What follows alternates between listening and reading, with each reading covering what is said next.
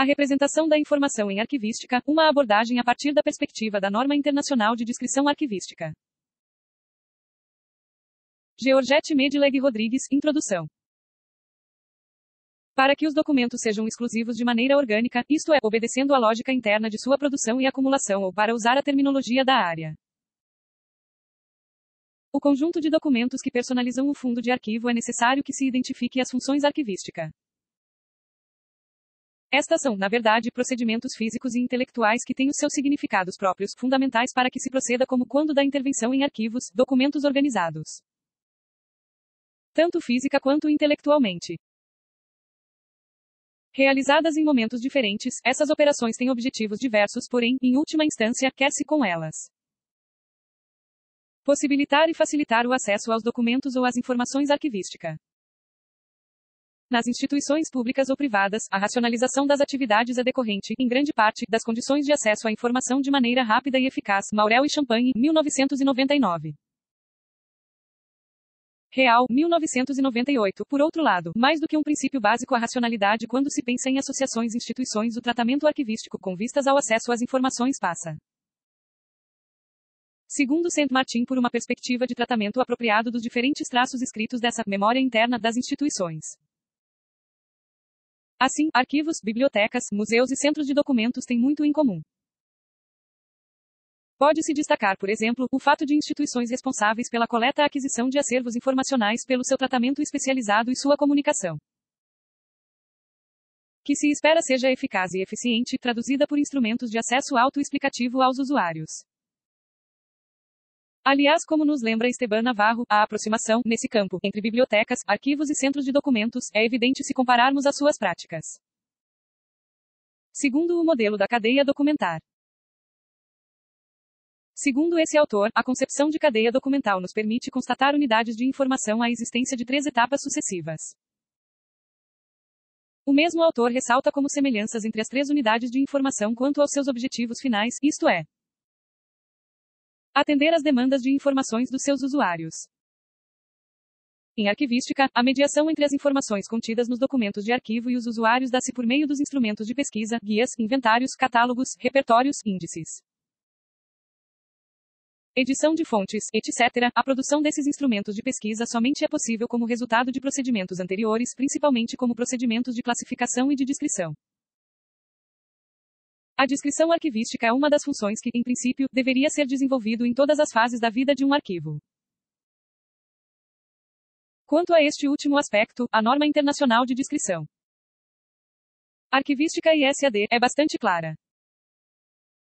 No entanto, apesar do que preconiza a norma, alguns autores consideram que a função descrição para todo o ciclo de vida dos documentos é algo ideal mas ainda dificilmente realizável nas práticas arquivísticas ou, ainda que se aplica somente aos arquivos permanentes.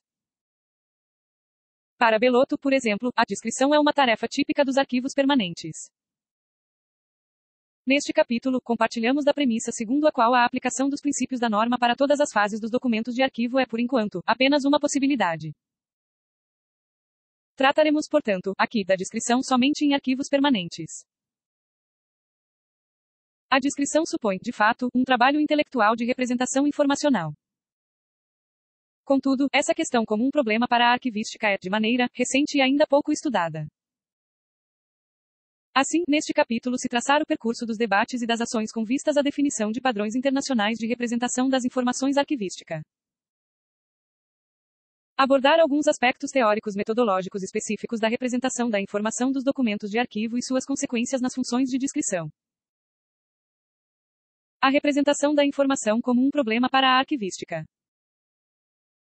Como indicado na introdução deste capítulo, a representação das informações contidas em documentos de arquivo como um problema para a arquivística é recente e, por isso, ainda pouco estudada. Esse aspecto é apontado por Fernanda Ribeiro na sua tese de doutorado, posteriormente transformada em livro. De fato, a bibliografia sobre o tema, sobretudo em língua portuguesa, ainda é escassa.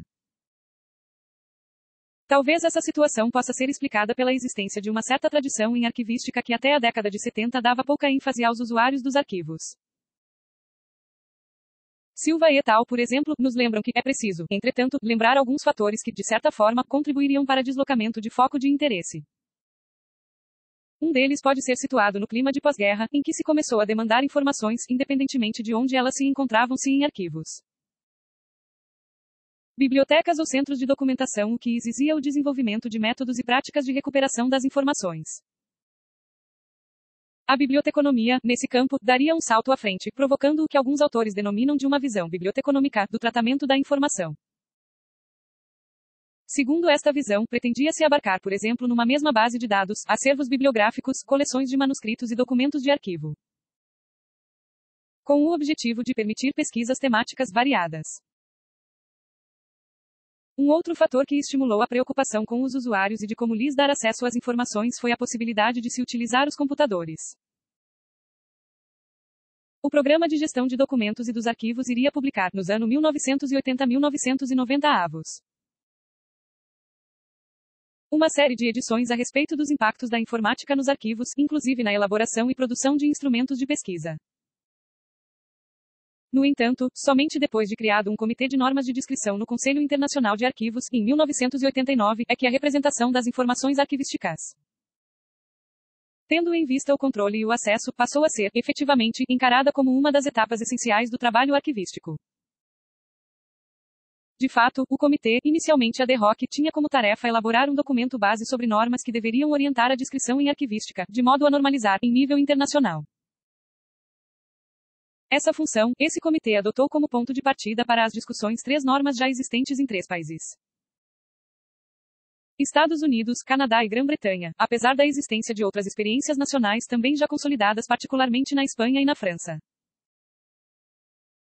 A explicação para tal atitude talvez se encontre alhures fora do âmbito do Comitê do CIA e mais na perspectiva das relações internacionais, o que foge, evidentemente, dos objetivos deste capítulo.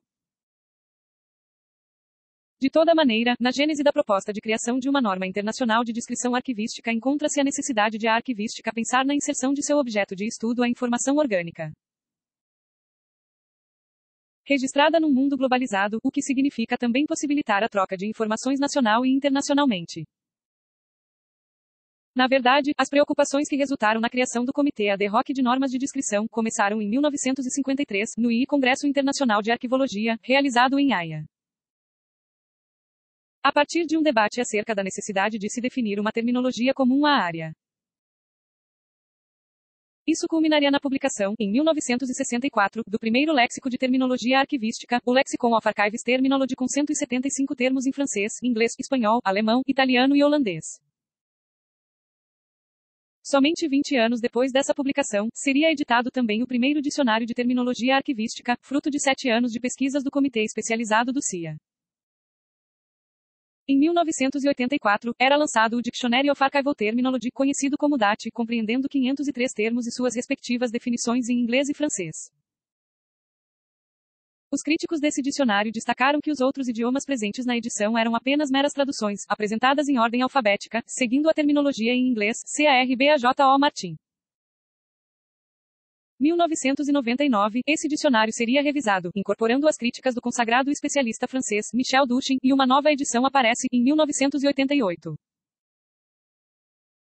Na sequência, novos vocabulários especializados são publicados pelo CIA, como a Elementary Terms in Archival Automation e o Glossary of Basic Archival and Library Conservation Terms. Os passos decisivos para a criação de uma norma internacional de descrição arquivística seriam dados no final dos anos 1980.